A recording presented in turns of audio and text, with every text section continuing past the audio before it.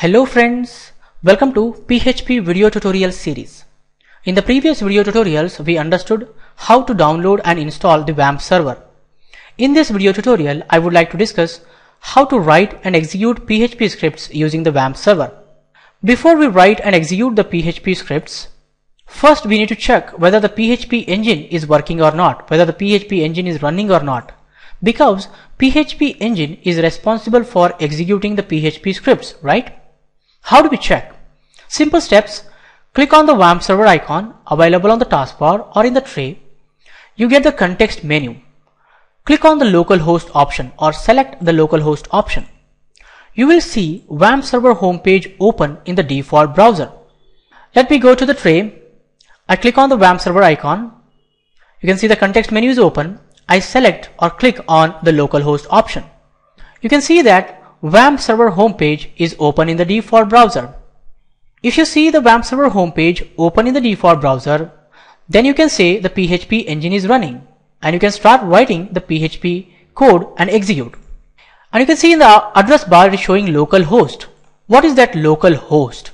I told you a server which is installed in the local machine is called as localhost or the virtual host.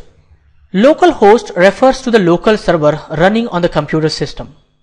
It points to the root directory of the local server. Localhost points to the root directory of the local server. Which one is the root directory of our WAMP server? Because our WAMP server is a local server, right? The root directory is www folder, which is available in the WAMP folder. How do we get there? Click on the WAMP server icon just click on www directory. You see that in the Windows Explorer, it is showing www folder, which is available in the WAMP folder and the WAMP folder is available in the C drive. This is a folder to which the local host is pointing. At present, localhost is displaying the index.php page. The browser is displaying index.php page. This page is the index.php page friends. Let me prove that. I just say here forward slash index.php. If I hit enter, you see the same information. And the index.php is available in the root directory here, index.php.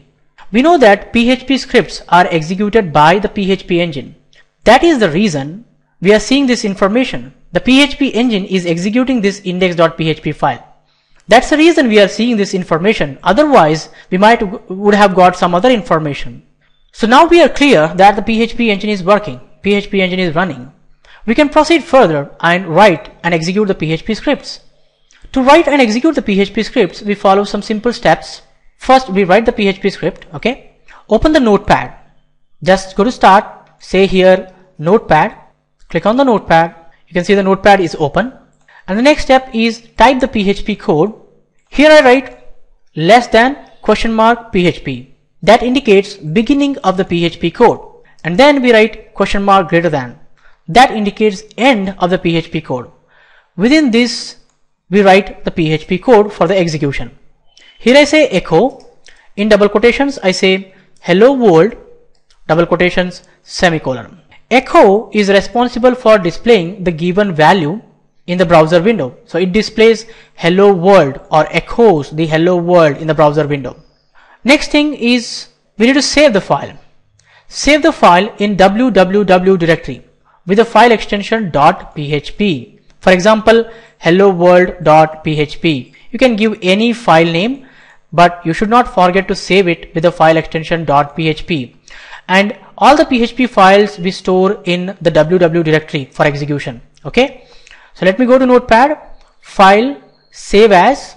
Now I need to go to the www directory. So what I do here, I'm going to copy this address c colon backward slash wamp backward slash www go to notepad. I paste here control V and hit enter. You can see we are now in c wamp www now I give the file name here. Hello world. You can give any file name. I say dot php you should not forget that. Both sides I put double quotations and click on the save button. You should see hello world file available in the www root directory. So hello world.php. That is how you save the file. Let's proceed further. Next thing, executing the PHP scripts. How do we execute the PHP script or run the PHP scripts? Simple thing, open your browser, type localhost.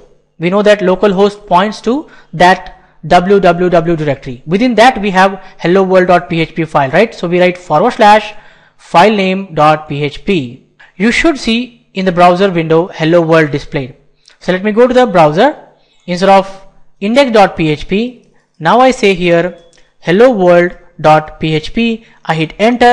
You see hello world text is displayed. You can see that we have successfully written the PHP code and executed friends. That's it.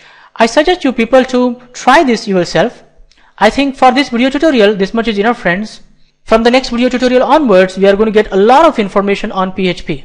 For more benefits and be up to date, please subscribe to my YouTube channel and don't forget to like, comment and share these videos with others so that everyone will get benefited. Keep learning, keep coding, keep sharing. Thank you guys. Thank you very much. See you in the next tutorial.